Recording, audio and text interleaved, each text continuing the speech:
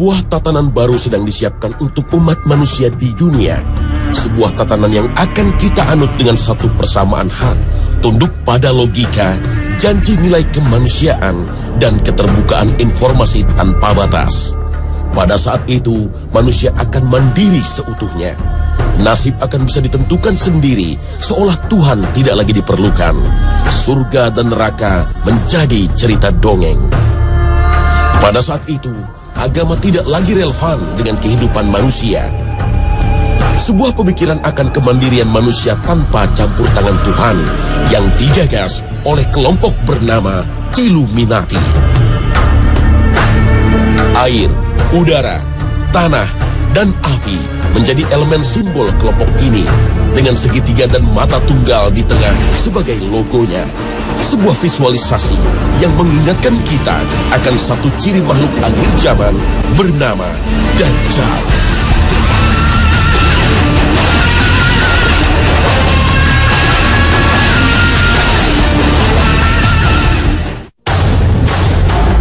Assalamualaikum warahmatullahi wabarakatuh. Selamat pagi pemirsa. Khazanah kembali hadir untuk memberikan wawasan dan informasi kepada Anda. Tatanan dunia baru adalah sebuah konsep yang dibuat oleh dua organisasi rahasia yang dianggap paling berpengaruh di dunia, yaitu Freemason dan Illuminati. Illuminati yang berarti sang pencerah adalah sebuah organisasi yang diduga kuat didirikan pada tanggal 1 Mei 1776 oleh Adam Weishaupt. Tujuan utama pembentukan Illuminati adalah membuat manusia sempurna sebagaimana Tuhan tanpa Tuhan. Dalam konteks tatanan dunia baru yang dijalankan oleh manusia yang sempurna, hanya ada sebuah agama, yaitu agama yang berdasarkan penyembahan akal budi atau worship of reason. Pendiri Illuminati percaya ketika akal budi menjadi agama manusia, maka permasalahan akan terselesaikan.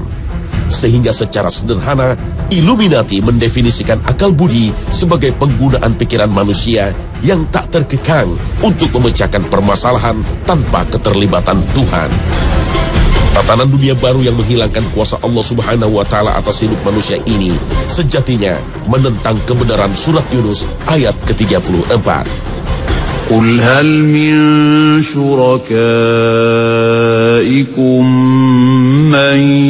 يبدأ الخلق ثم يعيد الخلق ثم يعيده فأنا تؤفكون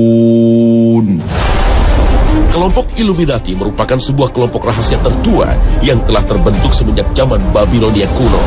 Di masa itu, terdapat sebuah menara Babel yang dibangun oleh Raja Namrud. Pembangunan menara Babel pada dasarnya adalah sebuah upaya manusia untuk menggapai langit. Sebuah simbol dari upaya manusia untuk meninggikan derajatnya. Islam secara tersirat telah menjelaskan adanya menara Babel dalam surat Al-Fajr ayat ke-6 hingga ke-8. Apakah kamu tidak memperhatikan bagaimana Tuhanmu berbuat terhadap kaum Ad, yaitu penduduk Iram yang mempunyai bangunan-bangunan yang tinggi yang belum pernah dibangun suatu kota seperti itu di negeri-negeri lain? Al-Quran Surah Al-Fajr ayat 6 sampai 8. Kesombongan umat manusia atas kecerdasan dan kemampuan berpikirnya membuat mereka berbuat zalim dan merusak dunia. Pada akhirnya Allah Subhanahu wa taala dengan kuasanya memberikan ganjaran berupa azab seperti yang tersari dalam surat Al-Fajr ayat ke-12 hingga ke-14. Lalu mereka berbuat banyak kerusakan dalam negeri itu. Karena itu Tuhanmu menimpakan kepada mereka cemeti azab. Sesungguhnya Tuhanmu benar-benar mengawasi. Al-Quran Surah Al-Fajr ayat 12 hingga 14. Kehancuran menara Babel karena azab dari Allah Sang Maha Kuasa bagi sebagian kecil umat manusia tidaklah menjadi pelajaran. Namun justru memunculkan api dendam dari kelompok kecil umat manusia kepada Tuhannya. Kelompok kecil inilah yang pada akhirnya menjadi akar dari gerakan Illuminati. Illuminati dengan segala rencana dan agendanya berusaha membalaskan dendamnya kepada Allah Subhanahu wa taala sehingga tak ayal berkelakuan sebagai sekelompok orang pemuja setan. Agenda Illuminati pada akhirnya di abad ke-18 semakin nyata seiring terciptanya konsep tatanan dunia baru New World Order. Salah satu agen Illuminati sesuai dengan buku tulisan Henry Mackau adalah Amschel Mayer Rothschild. Di tahun 1773, Rothschild yang merupakan seorang Yahudi Ortodoks mengadakan pertemuan dengan 12 bankir terkemuka. Salah satu cara Illuminati menguasai dunia adalah dengan menggunakan dominasi ekonomi. Cara-cara Illuminati mewujudkan tujuan besarnya adalah merancang bencana-bencana besar ekonomi seperti yang terjadi di tahun 1933 di Amerika Serikat. Guncangan ekonomi yang dikenal dengan istilah Great Depression tersebut adalah bencana ekonomi karena kehancuran pasar modal. Di abad ke-21, bencana ekonomi muncul kembali seiring dengan krisis ekonomi di Yunani yang menjalar ke negara-negara Eropa termasuk Spanyol dan Italia. Bencana ekonomi di Amerika Serikat kembali mencuat seiring dengan terpilihnya Barack Obama menjadi presiden negeri Paman Sam yang ke-44. Dan ternyata skema Ponzi yang dirancang oleh para bankir Yahudi meluluhkan sendi-sendi perekonomian sang negeri adidaya. Penguasaan para agen Illuminati atas perekonomian dunia sesuai analisis Henry Mackau pada akhirnya mulai menampakkan dirinya bahwa menguasai negara atau bangsa cukup dengan menguasai ekonominya. Dengan menguasai uang, maka kekuasaan atas pemerintah dan segala aturannya menjadi mutlak. Bentuk nyata dikdayanya ekonomi terhadap kedaulatan sebuah bangsa adalah belitan hutang dari sebuah negara, termasuk negeri yang kita cintai Indonesia. Hingga tahun anggaran 2012, Indonesia harus menanggung hutang hingga mendekati angka 2000 triliun rupiah. Dan hingga saat ini, anggaran pendapatan dan belanja negara APBN masih mencatatkan angka defisit hingga lebih dari 150 triliun per tahunnya yang memaksa para pengelola keuangan negara terus-menerus mengeluarkan surat hutang negara. Akankah sebuah negara mampu berdaulat dan melindungi serta mesejahterakan rakyatnya jika senantiasa dibelit hutang. Dan mengapa Indonesia harus menanggung hutang yang demikian besar?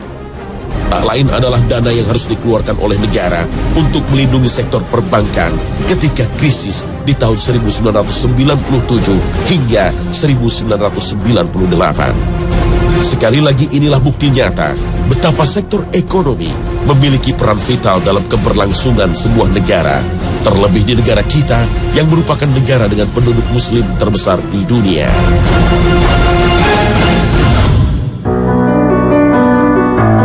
Salah satu orang yang menulis mengenai agenda besar The New World Order adalah Constance Cambay. Dalam bukunya yang berjudul The Hidden Dangers of the Rainbow, The New World Order adalah sebuah tatanan yang dibentuk berdasarkan sebuah pemahaman akan satu kesamaan agama baru. Dan agama itu adalah New World Order. Sebuah pemahaman akan satu aturan baru yang mampu melibatkan seluruh manusia di bumi tanpa batas warna, kulit, suku, bangsa dengan satu prinsip dasar yaitu kemanusiaan. Internet dan kartu kredit dengan berbagai kemudahan dan manfaatnya disadari telah menjelma menjadi sebuah sistem keuangan baru. Siapa pun, di mana pun ia berada, bisa dengan mudah mendapatkan barang apa pun yang disediakan dari seluruh penjuru dunia. Transaksi tawar-menawar dilakukan tanpa kehadiran. Dan identitas adalah kredibilitas seseorang di dunia maya tanpa perlu tatap muka dan asal-usul asli. Pilar lain penopang tatanan dunia baru adalah Badan Otoritas Pangan Dunia. Banyak pemimpin seakan dihantui oleh satu isu universal ini dengan pertanyaan mendasarnya adalah cukupkah bumi dan seisinya menjamin kehidupan seluruh manusia nanti? Rasionalkah isu ini dalam kajian agama Islam, agama yang diturunkan kepada sang nabi terakhir Rasulullah Wasallam?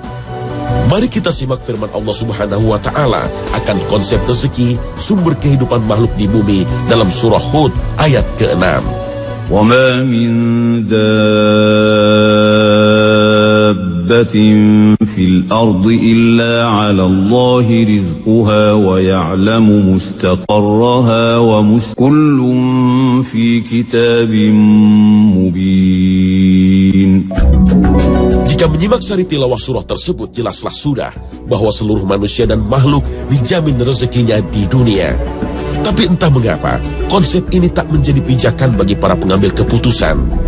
Kuasa otoritas pangan dunia tampaknya semakin kuat seiring dengan slogan One World, One Earth.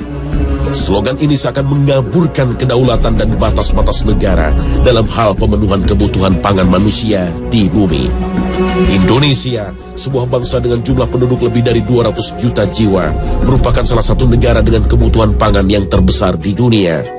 Namun, menurut Badan Pangan Dunia, FAO, Indonesia adalah salah satu negeri agraris yang tak kunjung mampu menyediakan jumlah pangannya secara mandiri. Ketidakmandirian pemenuhan pangan dalam negeri bisa diukur dari tiadanya anugerah FAO dalam hal bidang swasembada. Kegagalan pembangunan pertanian di negeri dengan tanah yang subur makmur berimbas pada kebijakan pemenuhan kebutuhan pangan. Dan ternyata kekuatan dunia seakan mendominasi seiring dengan kebijakan pemerintah saat ini untuk beternak sapi di tanah Australia. Kebijakan pemerintah ini seakan mengaburkan identitas bangsa kita. Benarkah 230 juta jiwa manusia Indonesia tak lagi mampu beternak sapi di negerinya sendiri? Dan ternyata tanah Australia di masa depan nanti tak hanya menjadi lahan beternak sapi-sapi Indonesia.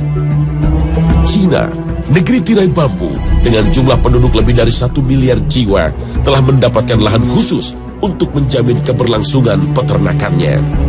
Prinsip One World, One Earth inilah yang menjelaskan semakin dekatnya kita pada era tatanan dunia baru. Karena pilar selanjutnya dalam pembangunan The New World Order adalah sebuah pemerintahan dunia yang berkuasa penuh atas seluruh penduduk bumi. Di masa depan nanti, ada sebuah bentuk pemerintahan yang maha kuasa, sehingga semua harus tunduk dalam sebuah undang-undang universal. Peraturan tata kehidupan yang berlaku tersebut akan meleburkan batas teritori kedaulatan bangsa dan negara. Dan sekali lagi, kita harus membuka mata bahwa peradaban dunia semakin mendekat ke arah sana. Simak saja kuasa Dewan Keamanan Persatuan Bangsa-Bangsa dalam sebuah forum yang beranggotakan lima anggota tetap dan sepuluh anggota tidak tetap itu, seluruh dunia seakan tunduk terhadap sebuah peraturan baku.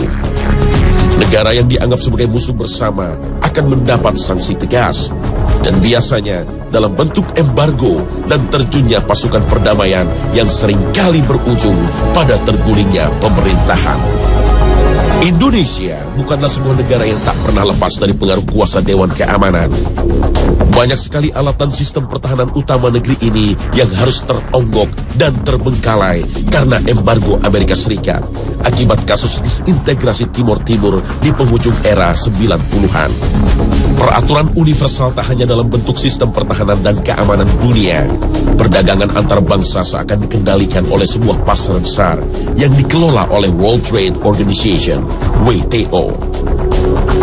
Lembaga yang juga berafiliasi dengan PBB ini memiliki kuku yang tajam dan kuat dalam mengatur perdagangan antar negara. Sebuah negara seakan tak memiliki kuasa penuh dalam hal menjual dan membeli barang dan komoditi. WTO sering kali memperingatkan bahkan memberikan sanksi kepada negara yang tak tunduk dan terkesan bandel dalam menetapkan bea masuk terhadap sebuah komoditas internasional. Sekali lagi, Indonesia adalah sasaran empuk produk-produk dunia terkait dengan besarnya jumlah penduduk dan kebutuhan rakyatnya. Di negeri yang membentang dari Sabang sampai Merauke ini, produk impor seakan mendominasi pasar barang dan jasa, mulai pakaian, sepatu, buah, gula, hingga beras. Jika pemerintah nekat membatasi peredaran barang-barang impor, maka bersiaplah seluruh komponen bangsa menghadapi sidang WTO. WTO juga menjadi momok bagi pelaku usaha lokal seiring komandonya untuk menerapkan sistem perdagangan bebas. Inikah bentuk-bentuk semakin nyatanya pembangunan pilar penopang tatanan dunia baru, The New World Order?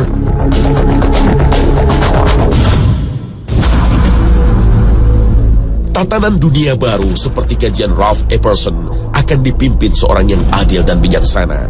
Sang pemimpin ini disebutkan dengan banyak nama di banyak agama. Penganut Kristiani menyebutnya sebagai Kristus. Bangsa Yahudi memanggilnya Messiah. Umat Buddha mengenalnya sebagai Buddha kelima. Pemeluk Hindu mempercayainya sebagai Krishna dan kaum muslim meyakininya sebagai Imam Mahdi.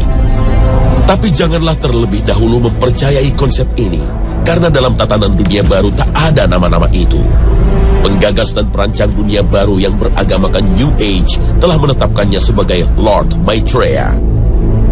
Dalam The New World Order, Lord Maitreya dipercaya sebagai seorang anak yang lahir di tanggal 5 Februari 1962. Lord Maitreya inilah yang memimpin dunia baru dalam sebuah tatanan baru.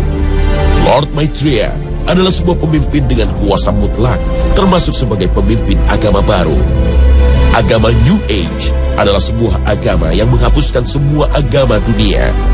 New Age adalah sebuah agama yang diklaim menyempurnakan manusia layaknya Tuhan. Konsep kedatangan Lord Maitreya sebagai pemimpin maha kuasa atas segala sesuatu di dunia ini jelaslah sulit diterima ajaran Islam. Islam, agama panutan ini, telah menggariskan panduan tauhid pada umatnya dalam Al-Quran kitab suci yang terjaga dan terpelihara kesuciannya hingga hari akhir tiba. Dalam Islam, tak ada satupun makhluk yang maha baik yang memiliki kemampuan untuk mengatur segala sesuatu. Dan hal ini telah tersirat dalam Al-Quran, surat Al-Baqarah ayat ke-148. ولكل وجهة هو موليها فأينما تكونوا يأت بكم الله جميعا إن الله على كل شيء قدير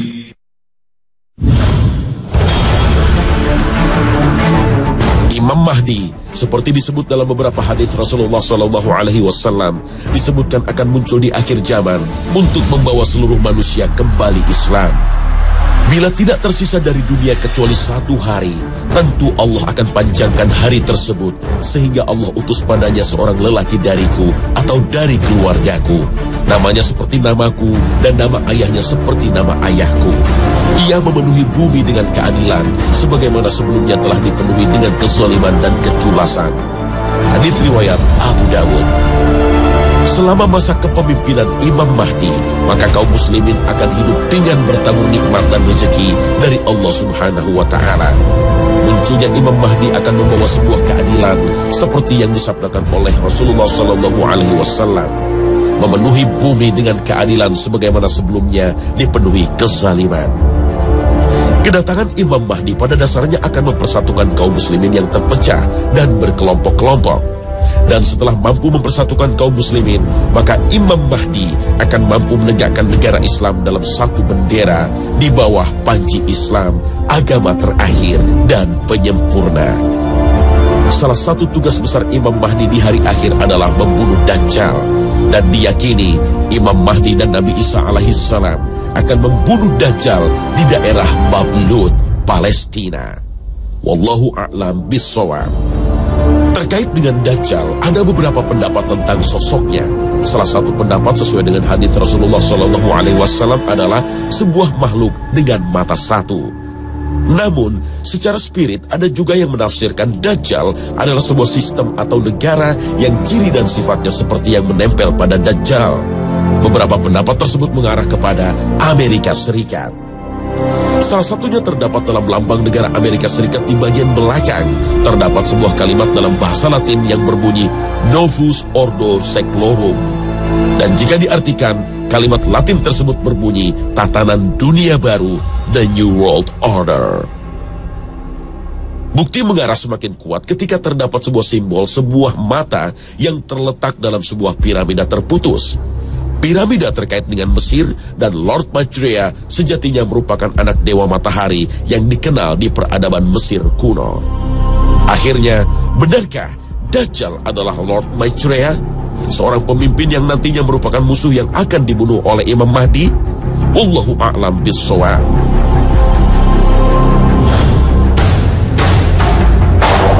Pemirsa, Agenda Illuminati yang mengusung konsep New World Order adalah cita-cita dan agenda manusia. Tetapi bukankah manusia adalah sebuah hamba yang lemah dengan segala kekurangan yang senantiasa diatur oleh Allah Subhanahu wa taala? Apa pun agenda, rencana dan tujuan umat manusia, pastilah membutuhkan kuasa Tuhan agar mampu terlaksana di dunia. Rencana manusia tidak akan berjalan tanpa kesesuaian dengan rencana Allah taala. Wa makaru wallahu khairul makirin. Mereka merancang, Allah juga merancang. Sesungguhnya Allah sebaik-baik perancang. Mungkin Illuminati hanyalah sebuah teori konspirasi saat ini. Sebuah hal tak berbentuk dan tak terlihat dan bisa jadi sebuah penyangkalan. Namun gerakan sejenis yang senafas toh nyata-nyata hadir di tengah kita. Sebuah ajaran anti Tuhan yang sering kita dengar dengan sebutan ateis atau pemikiran liberal yang masuk dalam tatanan masyarakat Islam yang justru mempertanyakan ajaran murni Rasulullah. Keputusasaan manusia lemah iman adalah target termudah dari ajaran Illuminati ini. Karena Allah dikatakan tidak berpihak kepada yang lemah dan miskin dan menciptakan perbedaan serta ketidakadilan lewat garis rejeki, jodoh, dan kematian. Itulah sebuah bukti tanda akhir zaman dan hanya kepada Allah kita mendekatkan diri.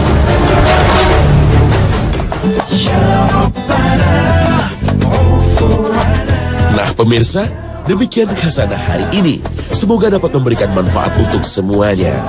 Tetap saksikan khazanah setiap Senin sampai Jumat pukul 5.30 pagi. Wassalamualaikum warahmatullahi wabarakatuh.